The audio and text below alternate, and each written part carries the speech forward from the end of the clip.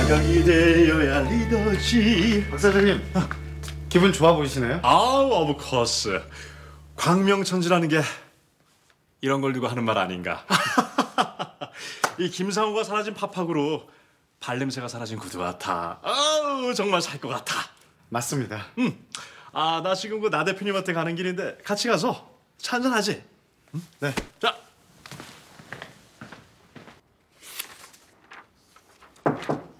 네. 아, 어서 오세요. 그 신임 회장님한테 커피 한 잔 얻어 마시고 은원 드릴 일이 있어서 왔습니다. 앉으시죠. 네.